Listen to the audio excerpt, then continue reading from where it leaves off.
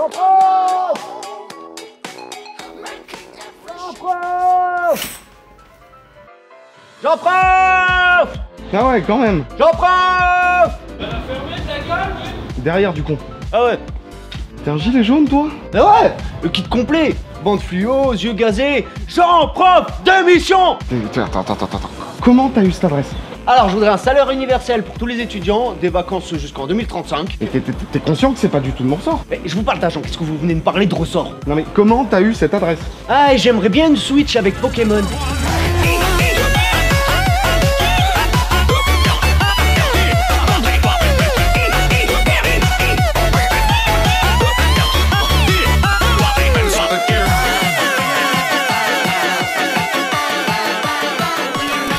Bonsoir, vous venez souvent ici? On vous a déjà parlé du son? Oh, ça y est, c'est reparti. Il existe trois états du son. L'acoustique est l'état primaire de ce dernier. C'est celui qu'on entend, celui qui est généré par une voix, une batterie, une gratte, des enceintes, un piaf. Ta daronne Et tout ça, c'est bien sympa comme source, mais pour traiter le son, on va avoir besoin des deux autres états. Bon, par contre, vu l'étendue du bordel, on va pas faire tout d'un coup. Donc du coup, aujourd'hui, on parlera juste d'analogique. Sa daronne, elle m'a déjà tout dit. Ta gueule Le son analogique, c'est la forme électrique du son, généré soit par un micro, pour rappel, vibration acoustique, système mécanique, signal électrique, ou par un instrument. Excusez-moi, vous pouvez arrêter de parler de physique Oh Tu vois, je suis content que tu poses la question. Ça va me permettre de me lancer dans une histoire à rallonge avec des effets de voix et un ton mystérieux. À partir de maintenant, on va parler d'électronique, donc bienvenue dans un monde rempli de composants, de cartes, de câbles, de schémas et de signaux électriques. Un monde de fils emmêlés à l'arrière de vos meubles qui deviennent un vrai nid à poussière.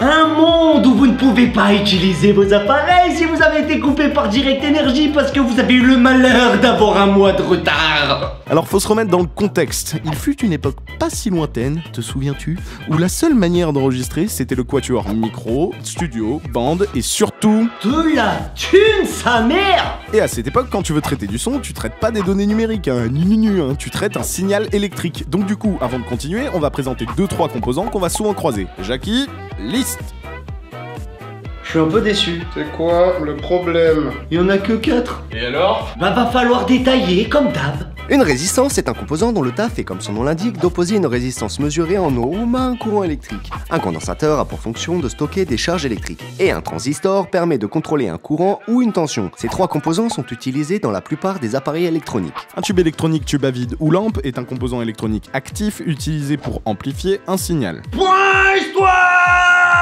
Le tube a longtemps été le seul composant actif existant. Il a permis la fabrication de radios, de radars et de télévision.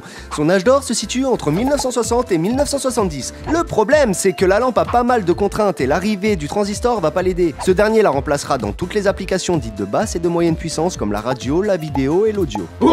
Malgré ça, les tubes sont toujours utilisés de nos jours. On les retrouve dans les fours à micro-ondes, les émetteurs de radio et de télévision, les radars et les satellites. En audio, la lampe a pour réputation d'être le meilleur procédé d'amplification, faisant d'elle un composant haut de gamme. Petit bonus pour la fin qui n'intéresse personne, on doit la première diode à vide à l'anglais John Ambrose Fleming en 1904. Pour les composants, on est bon, voyant maintenant différents appareils analogiques relatifs au son. Encore un truc qu'on ne retiendra jamais Une bande magnétique est un support d'enregistrement et de lecture pouvant être utilisé avec un magnétophone ou un magnétoscope. Woo! Vous voulez dire les trucs que plus personne n'utilise Ah mais heureusement qu'on en parle alors En plus de toujours coûter deux bras et demi, faut savoir que sa durée de vie n'est pas exceptionnelle, à peu près entre 20 et 30 ans. Développée en 1928 par l'allemand Fritz Fleimer, elle était à la base destinée à l'enregistrement sonore. Le disque micro-sillon ou vinyle fut le support d'enregistrement sonore principal de la deuxième moitié du XXe siècle. Il disparaîtra progressivement avec l'apparition du CD. On doit le premier vinyle au groupe français Pathé Marconi, pressé en 1951 aux usines de Chatou. Et l'expression graver un disque n'a jamais pris autant de sens qu'avec un vinyle, car si jamais on se demande à quoi correspond cette spirale nommée sillon, Il y a vraiment des gens qui se demandent ça bah c'est tout con,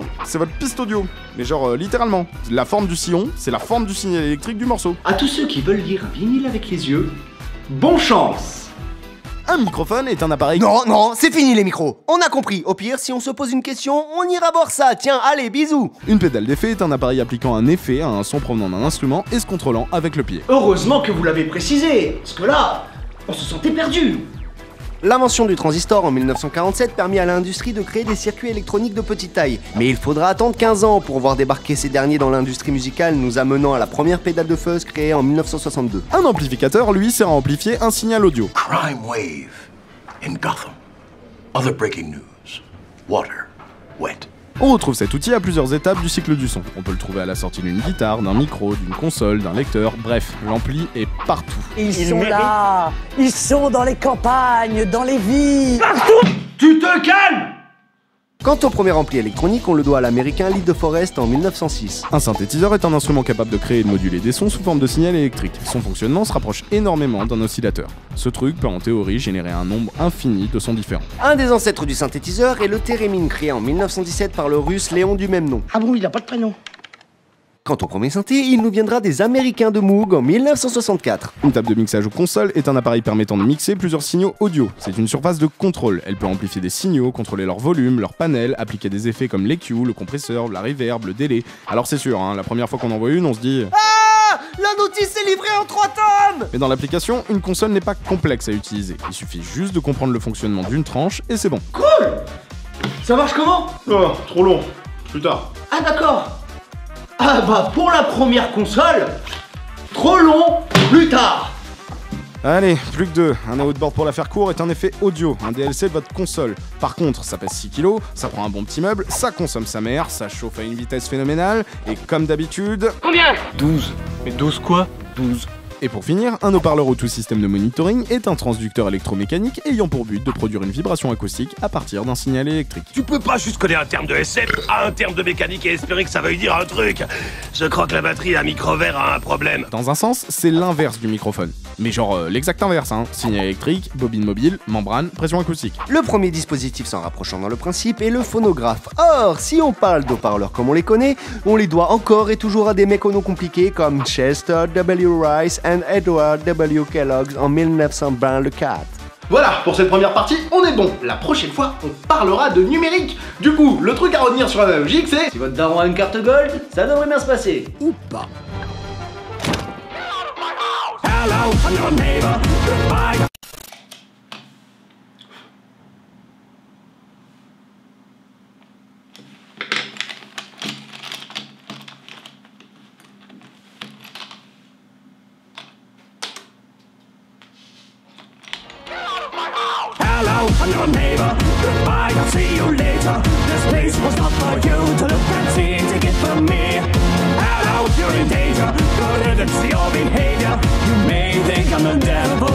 specialize in